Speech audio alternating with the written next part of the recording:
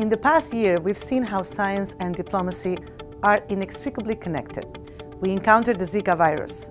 We signed the Paris Agreement.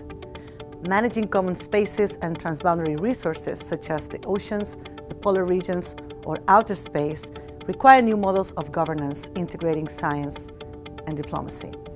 At its core, science diplomacy is about the recognition that scientific and international relations communities share many common goals. When you're addressing an issue that's as huge as climate change, setting goals and staying on track to meet them can't be done only on a national level. It requires international accountability and diplomatic good faith. I represent Costa Rica, a middle-income country that does not have oil or gas. We have to develop based on science and technology.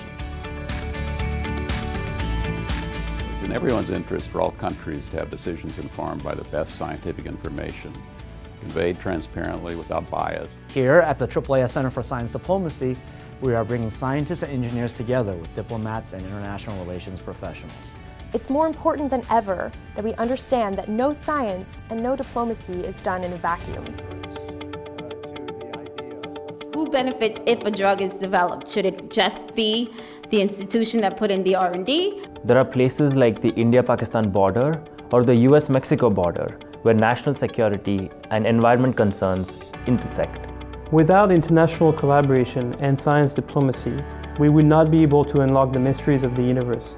More than 70% of Earth's surface lies outside the territory of any nation. Join us. Join us. Join us. Join us.